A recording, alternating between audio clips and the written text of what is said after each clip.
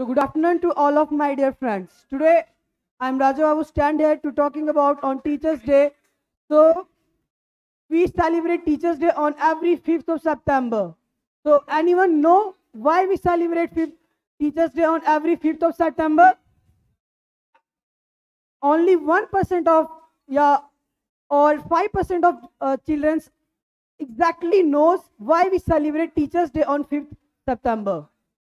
We all know that this day is celebrated as a fifth as a birthday of doctor Sarvepalli Radhakrishna ये ऐसा इसलिए है क्योंकि उन्होंने अपने जीवन के 40 वर्ष अपने जीवन के 40 वर्ष उन्होंने अपने एजुकेशन और अध्यापक के रूप में बिताया है। और, और उसके बाद उन्होंने 1962 में प्रेसिडेंट के रूप में आए थे। और उन्होंने प्रेसिडेंसी भी फाइव इयर्स का किया हुआ है। उन्हें नोबल अवार्ड भी मिला हुआ है उन्हें। एक बार ऐसा हुआ कि उनसे एक उनसे बहुत सारे टीचर्स और बहुत सारे स्टूडेंट्स उनके पास आए और बोलते कि आज आपका बर्थडे है, क्यों ना हम सब मिलके सेलिब्रेट करें। तो डॉक्टर से सर्वपल्ली राधा कृष्ण जी ने बोला कि मैं सिर्फ़ अपना बर्थडे सेलिब्रेट नहीं करूँगा। ये मेरा बर्थडे नहीं होना चाहिए।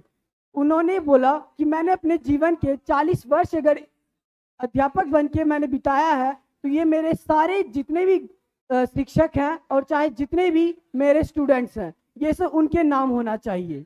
तो उन्होंने उन्नीस सौ बासठ में अपना 5 सितंबर को पहला birthday as a teachers day मनाया था। और तभी से हम सब जो है रोज 5 सितंबर को, हर 5 सितंबर को टीचर्स डे मनाते हैं। पर जो इंटरनेशनल टीचर्स डे है, वो हमारा 10 अक्टूबर को मनाया जाता है पूरे वर्ल्ड में। पर हमारे इंडिया में ही है जो सिर्फ़ पाँच अक्टूबर पाँच सितंबर को टीचर्स डे मनाया जाता है।